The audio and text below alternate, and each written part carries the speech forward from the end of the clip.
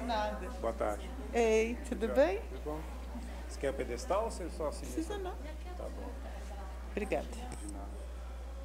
Prontinha aí, Raquel? Ei, Bela. Você tentou falar comigo, eu tentei falar com você junto com o Gabriel, não consegui. Depois você tentou falar comigo. Semana passada não Na semana passada no plenário, mas deu tudo Eu certo. fugi. Você fugiu de mim? Fugi de todo mundo. O médico, eu fui pra, fui pra Cabo Frio, fiquei quatro dias pegando chuva. Gente, a vida da Mineiro gente. na praia é isso, né? Né, mineiro na praia é isso. Mas eu fui pra praia, tá? Pra quem acha que eu não fui, Resistência. Eu, eu Você é fui. mineira, óbvio. É lógico. eu também sou assim, fico lá com a gavetaria assim, segurando o guarda Não, eu levei, uma blusa de lã. É uma iniciativa do Centro Acadêmico Vai que sai um da e a palestra é da doutora Liala Aí depois você pode sentar de cá para te dar. tá joia. Boa tarde. Tá ligadinho, tá, né? Pode começar, Raquel? Pessoal, boa tarde. Muito feliz em estar aqui com vocês. Um momento muito especial para todas nós. E para mim, de forma mais especial ainda, todos acredito que saibam que eu estou em, em tratamento, um tratamento de câncer de mama. Graças a Deus, um tratamento bem sucedido. E é, muito feliz em poder participar com vocês aqui. Hoje a Câmara está realizando mais uma ação de conscientização ao câncer de mama do Outubro Rosa. A live de hoje é uma palestra que vai abordar a prevenção e detecção do câncer de mama, uma iniciativa do Centro Acadêmico de Medicina da UniBH, em parceria com a Câmara Municipal. Gostaria de agradecer à médica e à orientadora responsável pela equipe, a doutora Liala Rodrigues Lopes Miranda. O câncer de mama é o tipo que mais acomete mulheres em todo o mundo, tanto em países em desenvolvimento quanto em países desenvolvidos. Cerca de 2 milhões e 300 casos novos foram estimados para o ano de 2020 em todo o mundo, o que representa cerca de 24,5% de todos os tipos de neoplasias diagnosticadas nas mulheres. Para o Brasil, foram estimados 66.280 casos novos de câncer de mama em 2021, com um risco estimado de 61 casos a cada 100 mil mulheres. Aqui fala um pouco sobre a, a, a prevenção. Eu sempre fujo de tudo que os meninos escrevem para mim, e a gente vai ter uma médica aqui falando que vai falar muito melhor do que eu, é, e com muito mais conhecimento de causa eu é, quero levar sempre o meu relato para todas as mulheres de uma forma muito positiva, de que a gente tem que enfrentar essa doença de cabeça erguida e a gente saber que não existe é, como evitar. Na verdade, quando nós falamos em prevenção, é ter um, um diagnóstico no momento certo. Então, nós temos que nos cuidar. Eu acho que o, o- o primeiro preconceito que nós temos é com a palavra, as pessoas evitam falar câncer. O meu médico esteve aqui hoje, participando pela manhã, ele nunca falou comigo que eu estava com câncer, em momento algum. Eu acho que é porque é uma palavra que aterroriza, né? E quando nós escutamos essa palavra, o chão realmente sai debaixo dos pés. Eu acho que toda a certeza que, nó- que a gente tem na vida, todas as garantias, e que a gente está com o controle da vida, a gente percebe que a gente não tem esse controle nesse momento. Mas, ao mesmo tempo, se você tem, primeiramente, fé em Deus, se você tem uma família que te dá sustentação, se você é, é, acredita na medicina, porque não adianta você pegar e ir lá de ser diagnosticada e simplesmente não cumprir as regras do jogo. Fazer todos os exames, todo o tratamento, tomar a medicação, cumprir realmente a risca aquilo que estão sendo, está sendo determinado. Acho que a partir do momento que você consegue fazer essa detec- detecção é, é, logo no início, você consegue fazer o tratamento e recuperar eu passei, é, fui muito furada ao longo de três meses. Aí eu fiquei mês de junho, julho, agosto e um pouquinho de setembro também, num tratamento um pouco mais intensivo. Fiz é, a radioterapia. Graças a Deus não foi necessária a quimioterapia. É, fiz a mamotomia mas não foi o suficiente. Eu tive que fazer a cirurgia para poder é, fazer a retirada parcial da mama. Aí tem muita gente que está me perguntando se eu vou fazer cirurgia para poder para as duas mamas ficarem do mesmo tamanho. Meu marido é que lute. Vai ter uma mulher de um peito pequeno e um peito, um peito grande. Ele que fique satisfeito com isso. Não tem intenção de fazer, pelo menos agora não. Já estou muito feliz de ter superado o tumor, de ter é, é, é, superado a doença. Estou tomando uma medicação. Eu sou aquele tipo de paciente que não guardo nenhum termo técnico. Eu conheci diversas mulheres agora é, é, com histórias de câncer e elas falam os termos técnicos da doença, elas falam os, os nomes dos remédios, elas falam tudo. Eu faço questão de não guardar esse tipo de coisa. Se vocês me perguntarem qual é o remédio que você está tomando, é um que todas as mulheres que têm câncer tomam, não sei o nome. Mas na hora que eu falo, sempre tem uma que vira e fala, é, esse, eu é esse mesmo, sabe? Não faço questão porque eu acho que isso não vai fazer legal, não vai fazer bem para mim. Mas eu acho que o bom humor, é, levar com altivez, a certeza de que vai superar, eu acho que isso tudo faz muita diferença. Eu ouvi uma mensagem essa semana sobre é, o apoio do marido. E venho ouvindo muito isso, que a maioria das mulheres são abandonadas no meio do tratamento. Às vezes, é, é, nós ouvimos relatos na, na, na, naquela reunião, inclusive, de mulheres que falam que não abandonam de separar, mas abandonam fisicamente, não acompanham o tratamento, não se aproximam, não, não acolhem. E esse acolhimento é extremamente importante.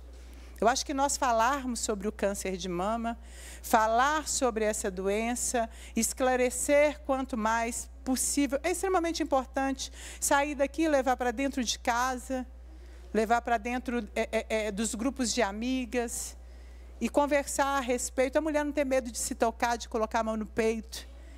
E se detectou alguma coisa de diferente, é buscar a solução para aquele problema.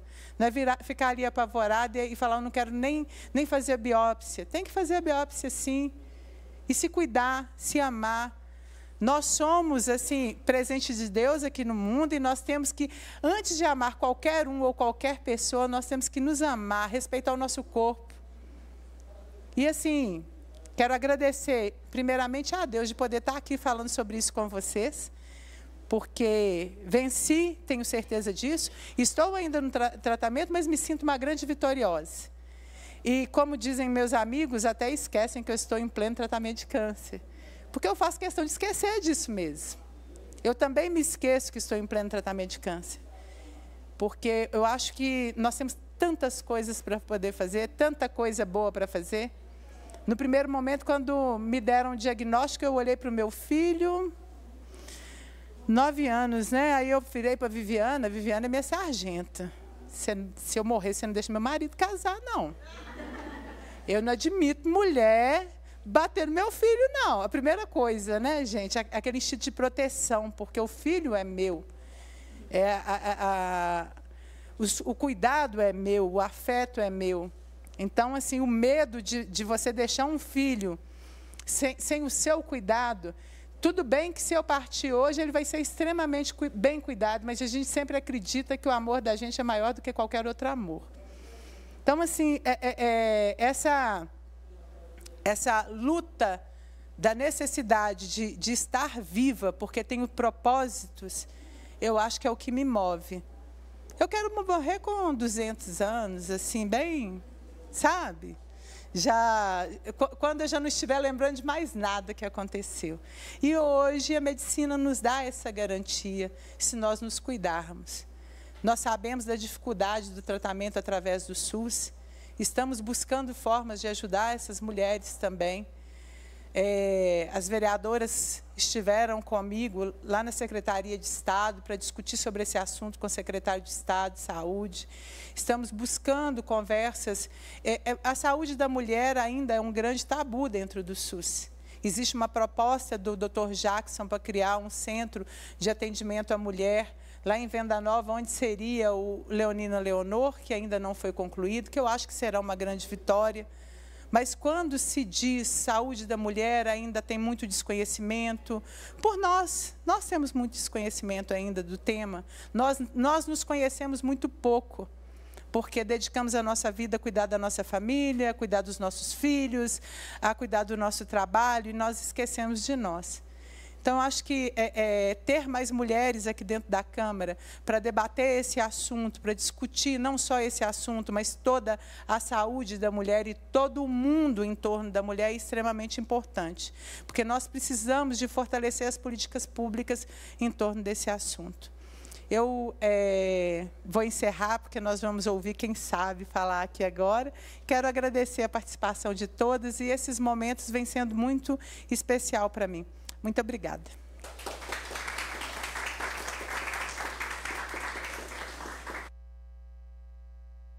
Seja bem-vinda. Muito obrigada. Eu não tenho muito costume de falar no microfone, não. Meu nome é Liala, eu sou ginecologista obstetra. É, hoje, então, a gente vai falar a respeito do Outubro Rosa, que é o mês de conscientização sobre o câncer de mama. E é igual a Nelly falou, a gente às vezes quando fala câncer, a gente tem medo da palavra, né? A gente fala aquela doença ruim, aquela, sabe? Aquilo, ah, aquela pessoa, fulana, está com aquilo, aquilo, aquele trem ruim a gente tem medo da palavra câncer. Eu falo um nome chique, carcinoma. Né? A, gente, a gente médico gosta de falar carcinoma para falar, mas câncer é quase que proibido de falar, porque é aquela doença ruim, aquela, assim. E, e aí a gente tem que falar câncer mesmo. A gente tem que falar porque a gente tem que estar tá preocupada e preocupada justamente na prevenção e na detecção precoce. Assusta, assusta quando a gente tem um diagnóstico. Apesar dela toda sorridente, feliz aqui, falando, ela já está com é, curada mas é uma palavra que assusta, mas que a gente não tem que ter medo desde que seja feito o diagnóstico precoce. É, eu vou passar o microfone para Ilma, que é a minha orientada, é, que vai falar melhor sobre esse tema. Pode vir cá, Ilma.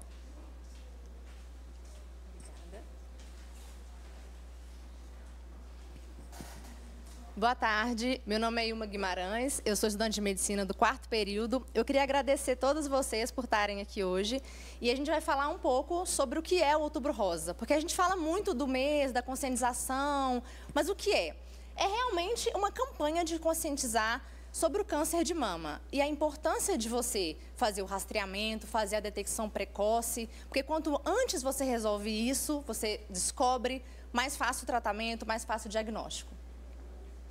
E por que esse mês é tão importante? Os números já falam, né? É o tipo de câncer que mais mata a mulher, é o câncer que a gente descobre que de 5 em 5 minutos uma mulher recebe um diagnóstico de câncer de mama. Então é uma coisa assim que a gente às vezes não, não sabe, mas ele é muito frequente é, no Brasil, em 2020, a gente teve 66 mil casos, então, assim, são muitos casos para a gente não ter um único mês para falar sobre isso. Lembrando que a gente tem o mês do Outubro Rosa, mas é um assunto tão importante que não deve ser só levado para um único mês. E aí, bom, a principal causa de morte entre as mulheres. E aí a gente tem os fatores de risco. São vários fatores de risco. Ser mulher já é um risco enorme para a gente. Homem também tem câncer de mama, mas as mulheres têm muito mais. É, idade, 50 anos, é uma idade preocupante. Então, é por isso que tem umas formas de se descobrir a partir dos 50 anos. Os fatores ambientais, comportamentais, de história reprodutiva e hormonal, genéticos e hereditários. E isso a gente vai falar um pouquinho mais. O fator comportamental e ambiental, a gente começa com obesidade e sobrepeso. E esse é um fator que a gente sabe que não é só para o câncer de mama, ele é para todos os cânceres, ele é um fator de risco. E aí a gente junta com o sedentarismo, porque a gente é sedentário, né? A gente fica em casa, a pandemia fez muito isso com a gente, a gente acaba, obesidade, sobrepeso, é um fator de risco enorme. Quem aqui gosta de bebida alcoólica? Bebida alcoólica é um fator de risco, o cigarro ele é um fator de risco e aí assim como a obesidade e sobrepeso, não é um fator de risco só para esse tipo de câncer, é para vários outros. É, fator de risco de história reprodutiva e hormonal, a gente tem a primeira menstruação antes dos 50 anos, não ter tido filho, porque a gestação, os hormônios ajudam a afastar o câncer. A última menstruação após os 55 anos, então, no caso, a menopausa, e ter feito reposição hormonal por mais de 5 anos. Fator genético e hereditário é muito importante, porque eh, mulheres que já tiveram, no caso, casos na família, a gente fala de famílias primeiro grau, é o quê? O pai, mãe, filho, irmão. Se tiver no caso da família algum caso de câncer de mama, câncer de útero, câncer de ovário, é muito importante você ficar em alerta, porque significa que você tem esse fator de risco muito forte. E aí tem alteração genética que a gente fala que são os genes BRCA1, BRCA2. E você não precisa preocupar com isso, o médico precisa preocupar com isso.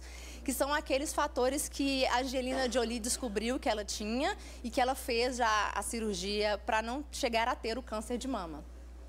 E aí, como prevenir? Cerca de 30% dos casos de câncer de mama podem ser evitados com a adoção de hábitos alimentares prática de exercício físico, manter o peso corporal, evitar o consumo de bebida alcoólica, cigarro, amamentação quando se pode, né, e quando se consegue fazer, também é um ótimo fator para prevenir. E aí quais são os sinais, os sintomas que a gente encontra? Um nódulo, que a gente fala que é um caroço, ele endurecido, fixo, porque às vezes a gente nota que tem alguma coisa, mas se ele é fixo, é uma coisa de se preocupar aumentando do tamanho, e aí a gente acha que nódulo é tudo que dói. Não, e no caso do câncer de mama, ele pode não doer. O aumento da mama também é, às vezes a gente né, vê aqueles casos, uma mama aumentada, muito vermelha, é, uma mama retraída, e aí a gente tem foto disso para mostrar.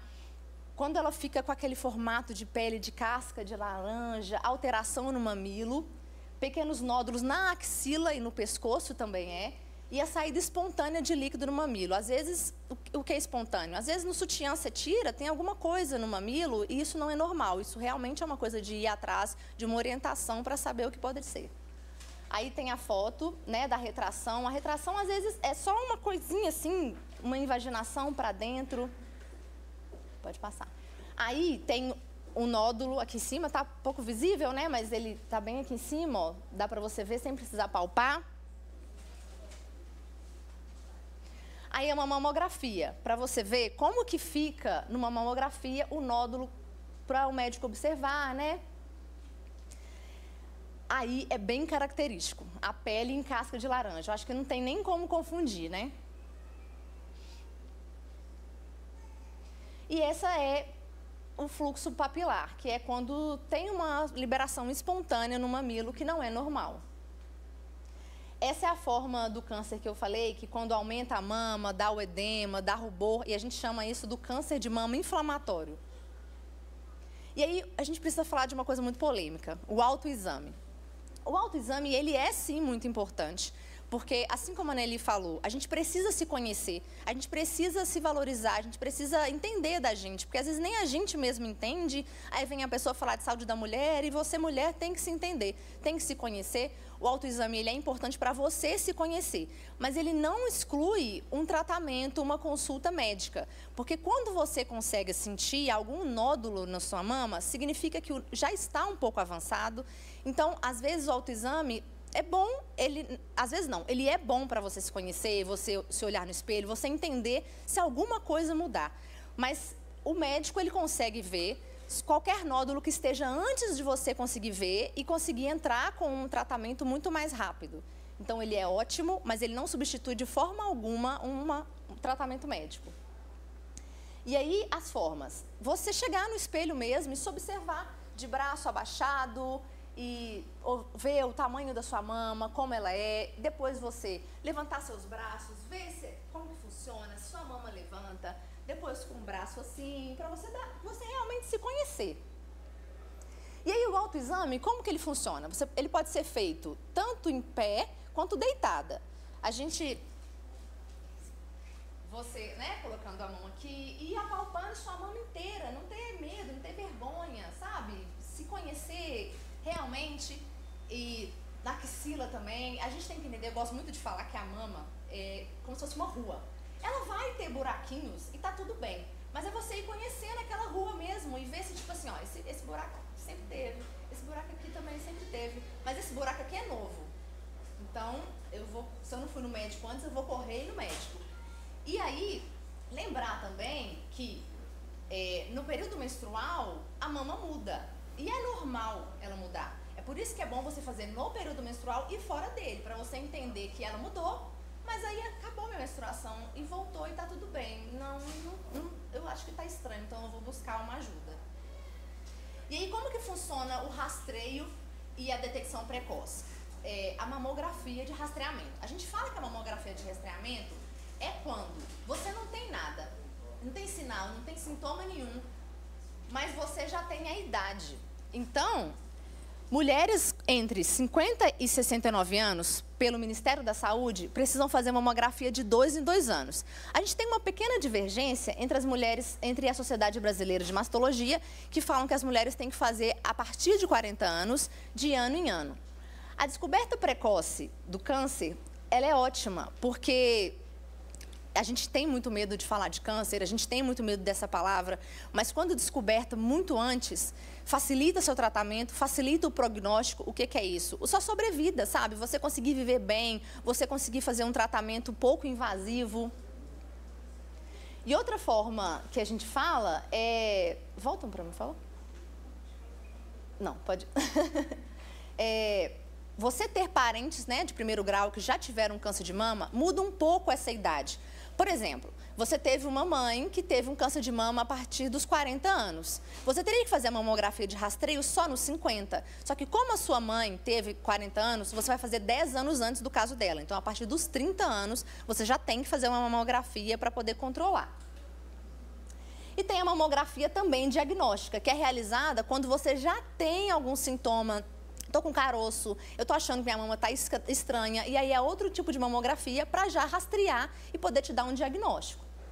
E aí, no caso de qualquer lesão suspeita, o diagnóstico ele é realmente feito e confirmado através de uma biópsia. É um material que ele é coletado, às vezes por uma agulha, que o patologista vai observar e te dá o diagnóstico verdadeiro. E aí o tratamento, ele depende muito da fase em que você está. É por isso que a gente chama de estadiamento, né, a fase que você se encontra. É por isso que a detecção precoce, ela é muito importante, porque pode ser feita cirurgia, radioterapia, quimioterapia, igual no caso dela. Ela não precisou de uma quimioterapia, porque foi descoberto antes. Então, quanto antes você descobrir, mais, menos invasivo o seu tratamento é. Aí a gente tem umas fotos né, de uma mastectomia poupadora de pele, de um carcinoma, né, que é um câncer ductal invasor nos ductos da mama, e teve uma, uma mastectomia contralateral profilática e uma reconstrução bilateral com próteses anatômicas.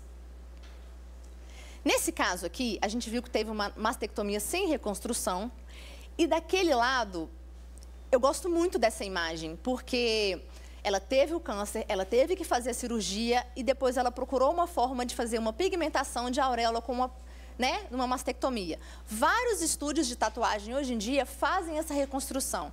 A gente sabe que a mama e o nosso cabelo manda muito na nossa autoestima. Então, mulheres que têm que fazer essa mastectomia, elas podem sim se olhar no espelho, se amar e se sentir normal como todas as outras, porque tem como elas conseguirem se reconstruir.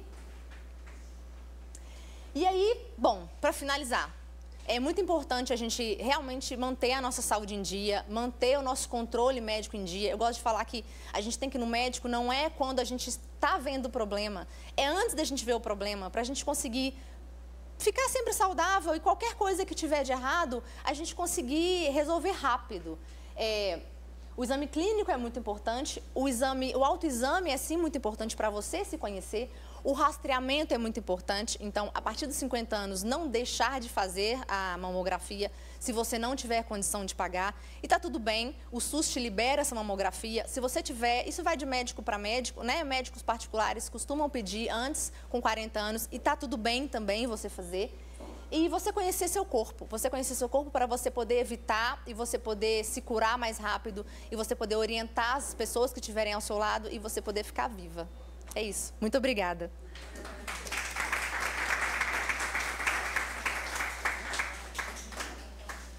Alguém tem alguma dúvida?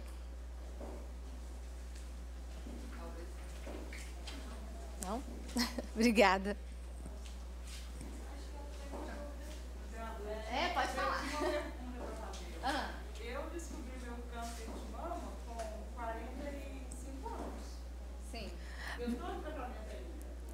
De 20 a 35% dos cânceres vão acontecer antes dos 50 anos. Isso é uma das coisas que a gente tem que lutar para que a gente consiga a mamografia de uma forma mais ampla para a população, para que comece a fazer a partir dos 40 anos e não a partir dos 50 a gente trabalha com rastreio de uma população em geral. Então, a gente a gente vai trabalhar naquela faixa etária que é mai, maior a incidência. A gente trabalha com saúde pública, mas a partir dos 40 anos, de 40 a 50 anos, de 20 a 35% dos cânceres podem sim acontecer. Caso a paciente tenha uma história familiar, eu sempre falo, história familiar não significa que você vá ter aquele câncer. Por exemplo, a minha mãe é hipertensa, tem pressão alta, significa que eu vou ter pressão alta? Não, mas eu tenho um fator de risco. Então eu tenho que ser mais cuidadosa idosa. Eu tenho que medir a pressão de vez em quando? Sim, tenho que medir mais do que quem não tem nenhum fator de risco. Assim como quem tem uma história familiar, quem tem algum outros fatores de risco, seja obesidade, sedentarismo, quem já teve algum outro tipo de câncer. Tudo isso faz com que a gente comece a rastrear antes. Ah, eu não tinha nada na família, eu fui a primeira, a azarada da família. É, se é, o ideal é que você faça o diagnóstico antes mesmo de perceber a nodulação. Então, é, sim, isso é uma, da, uma das falhas que a gente tem que tentar melhorar, para que a mamografia seja ampla a partir dos 40 anos. Seria uma boa. Você seria uma paciente que, se não tocar, se não percebesse, talvez passaria despercebido. Infelizmente.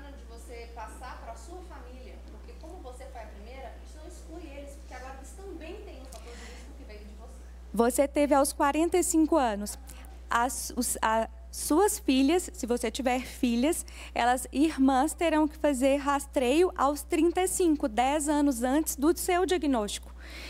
A gente não faz. Ah, então é, eu não quero, eu quero saber muito precoce. Eu vou começar a fazer mamografia aos 15 anos. Vai adiantar alguma coisa? Não, não, não vai adiantar. A mama para fazer a mamografia, a mama de uma paciente adolescente, jovem, ela é muito densa. E a mamografia, quem já fez, já deve, não é um exame que a gente costuma esquecer. Não sei quem já fez aqui, a gente não é um exame que a gente, ah, não sei se eu fiz, não sei se eu não fiz, ninguém esquece. Então tem que apertar a mama em duas angulações, e se essa mama é muito firme, não consegue apertar e não vê nada. Então não adianta fazer mamografia numa paciente de 18 anos, por exemplo, que não vai conseguir diagnosticar nada.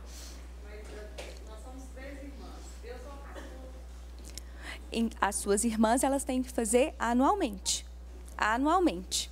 É, o exame é, mamografia, se tiver filha, também e a partir dos 35 anos, tá certo?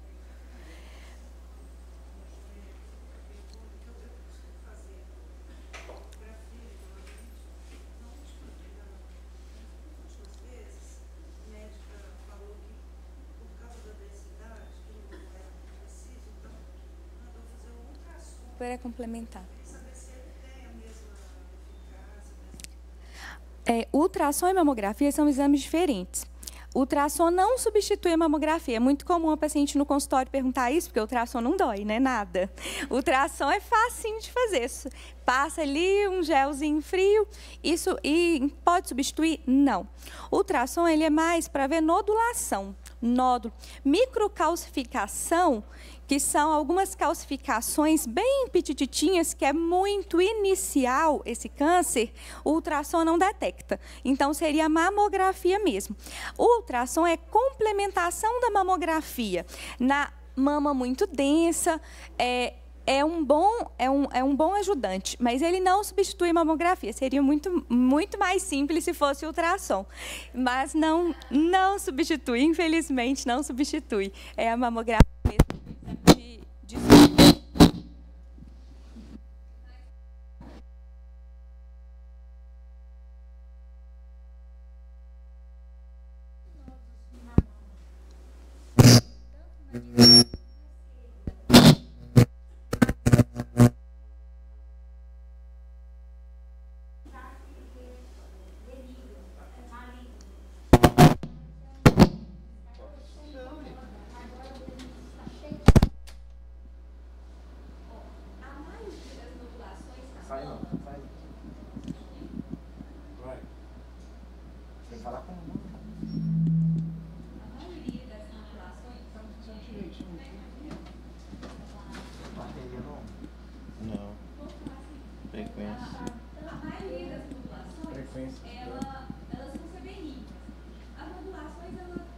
Acontecem, elas são mais evidentes quando a gente está no nosso período pré-menstrual. Fica com aquela mama mais inchada, mais dolorida, mais sensível. Essas nodulações, quando é que a gente vai suspeitar? O câncer, ele parece, ele, a primeira coisa, a característica, muitas vezes essas nodulações doem, né? É quando a gente está para menstruar, fica mais dolorido. O câncer não dói. Eu costumo falar assim, a paciente, quanto mais dor ela sente, maior a minha vontade de sorrir, porque coisa ruim não é. E aí, então, se, se não está tá com, com dor, Aí eu começo a ficar preocupada. E a nodulação do câncer é uma nodulação que ela cresce, ela não diminui, ela não regride e volta a crescer. A, o câncer ele só cresce, ele só para de crescer em, dois, em duas situações: ou quando a paciente trata, ou quando a paciente morre. Ele não para de crescer é, igual às nodulações benignas. As nodulações benignas, quando a gente está para menstruar, a gente sente, a gente palpa, elas são móveis, elas não são, é, elas não são tão duras, elas são ela fala assim, gente, o palpo é um caroço aqui, vai, cadê esse caroço? Eu já perdi ele. É, é, é bem móvel, é fibra elástica, diferente da nodulação do câncer, que parece que é enraizada. Você tenta mover, ela não mexe, ela parece que tem uma raiz. E esse caroço caroço, independente do ciclo menstrual, ele só vai crescendo. Então, a maioria das nodulações a gente consegue conviver bem com elas. Se fez na mamografia hoje, tem tal tal tamanho, fez, repetiu a mamografia em seis meses, um ano, continua estável, isso não é motivo de preocupação, porque o câncer ele sempre vai crescendo. E sempre manda para biópsia. E aí é sempre benigno.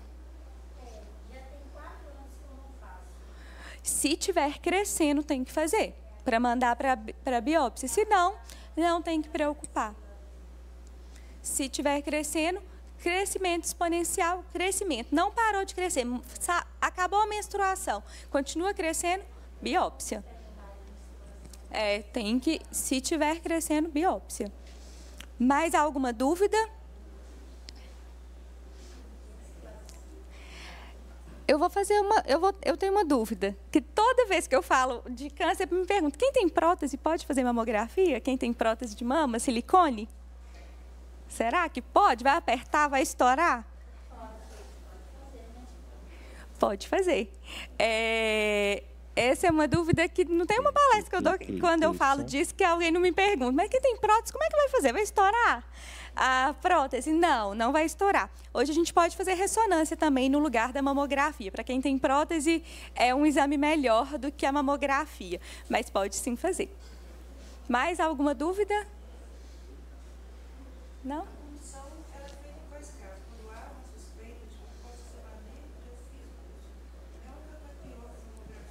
É, depende. É, a, a punção, ela pode acontecer em diversas situações. Pode ser quando é, a gente tem alguma nodulação que tem um conteúdo é, líquido dentro, porque não tem como a gente puncionar uma coisa sólida. Quando tem algum conteúdo líquido, ou quando você quer tirar alguma regiãozinha para mandar para biópsia, ou se tem alguma nodulação que também tem conteúdo cístico, conteúdo líquido e que incomoda. Não, às vezes, não tem suspeita de câncer. Aquele caroço que incomoda, às vezes estético, porque está aparecendo, às vezes porque nem está aparecendo, mas você fica incomodada com aquilo, está sentindo um pouco de dor, ou se tem alguma suspeita. Pode fazer, incomoda mesmo. Fica roxo, a mama. É difícil mesmo. Pode fazer.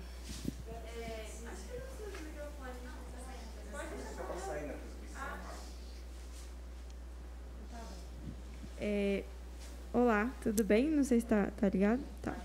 É, eu tenho 26 anos e eu já ouvi alguns casos de colegas que tiveram muito cedo câncer. Assim. A, maior, a maioria delas tinha um fator de risco bem próximo à mãe, né, que teve câncer e tal. Mas é uma preocupação que, que surge, né?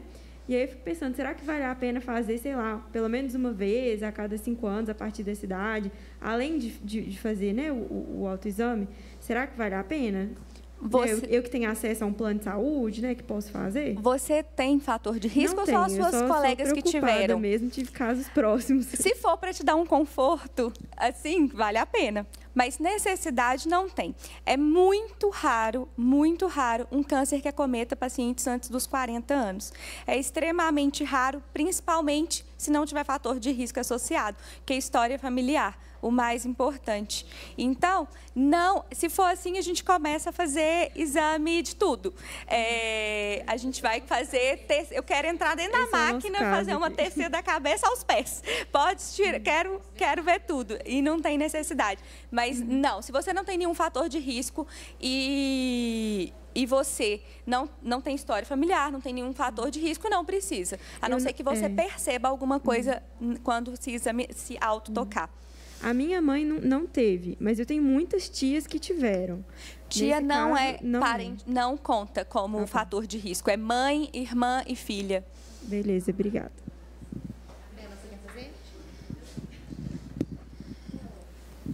Não, eu queria perguntar sobre a incidência do câncer de mama em homens.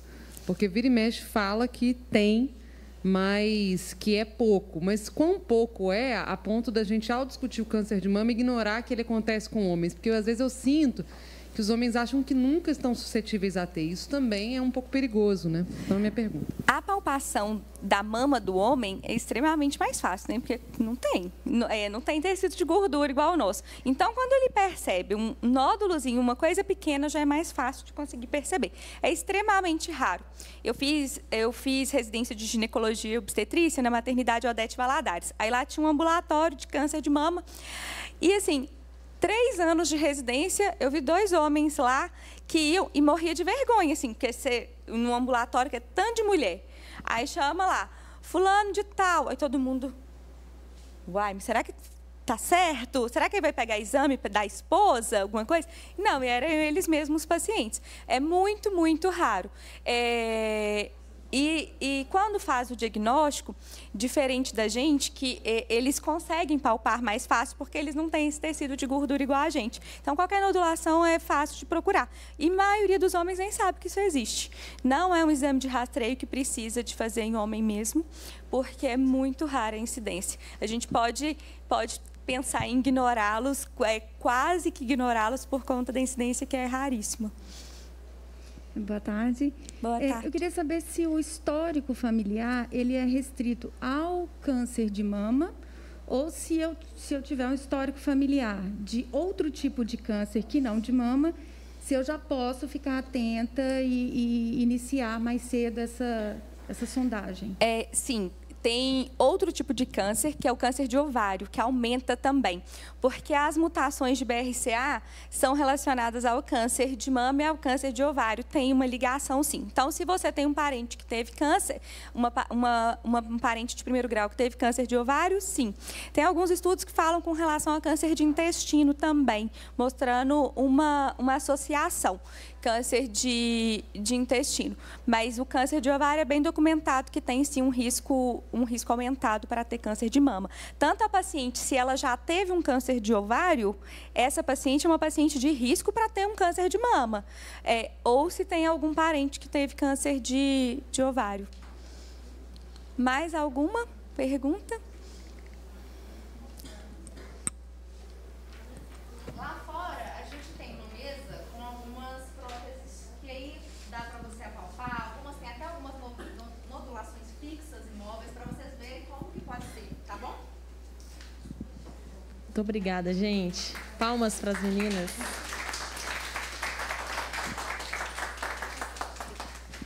Estou muito feliz com essa sala cheia aqui. Que bom, né? Cheia de dúvidas importantes também. E obrigada aos voluntários da Faculdade de Medicina. Obrigada, eh, Beatriz, né, que foi quem fez a ponte conosco para poder trazer a palestra para cá. E agora eu queria convidar o Edmilson, né, fundador da ONG Fio de Luz, que eu já fui doadora também, que faz perucas para pacientes oncológicas que, né, em alguma fase do tratamento, perdem o cabelo e essas ONG, essa ONG doa perucas. Eu queria que ele viesse aqui para a gente encerrar o nosso evento, contar um pouco sobre o trabalho da ONG. Pode vir, Edmilson. E quem sabe incentivar aqui algumas mulheres a doarem o cabelo também. Obrigada. Boa tarde, boa tarde, vereadora, boa tarde a todos vocês presentes. É, eu quero agradecer aqui primeiro pelo convite da vereadora Marcela Tropia e da nossa presidente, Nelly Aquino. É, é um prazer para nós, da Unifil de Luz, estar aqui e poder falar um pouquinho do nosso trabalho. Vou resumir devido ao tempo, né, que é curto. É, eu sou massagista esportivo de profissão, atuei no Minas Tênis Clube por mais de 10 anos. Eu saí do Minas no ano de 2008, abri uma loja de cabelos na região de Venda Nova. E um dia chegou uma moça lá usando um turbante, né, e começou a falar para a atendente sobre o problema que ela estava enfrentando, que o câncer, né? E ela olhava no celular e olhava no painel e dizia para a atendente: se eu tivesse dinheiro, eu comprava aquele cabelo, né? E aí eu me aproximei da moça e percebi que ela estava chorando. Nesse momento eu chamei uma das nossas tecedeiras, pedi que medisse a cabeça dela. Ela questionou: "Mas por que medir minha cabeça? Eu não tenho como comprar o cabelo e pedir para que fizesse uma peruca". Eu falei: "Não se preocupe, nós vamos doar a você a peruca". E assim o fizemos. O tempo se passou e um dia, ela, naquele dia, ela pediu para anotar o número de meu telefone e ela me chamava com uma certa frequência para falar a importância da peruca na vida dela, o quanto estava ajudando no autoestima.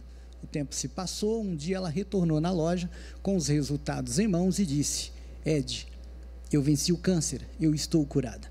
E isso foi um divisor de águas em minha vida foi onde eu viajei a São Paulo, comprei 80 quilos de cabelos, eu pedi que confeccionasse todos em perucas, é? E separei 30% para as despesas, 70% para a doação. E aí nasceu a ONG Fio de Luz. Quero dizer a vocês que hoje a ONG Fio de Luz ela está presente em 34 centros oncológicos, é, quatro estados brasileiros, mais Distrito Federal e Atlanta, nos Estados Unidos.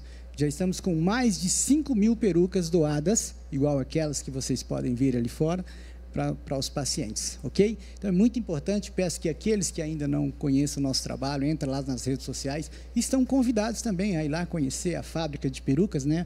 Hoje nós contamos com uma fábrica de perucas, né? E tempo todo produzindo exclusivamente para doar para as pacientes oncológicas ou de outras patologias que provocam a queda de cabelo, ok? Muito obrigado, um grande abraço.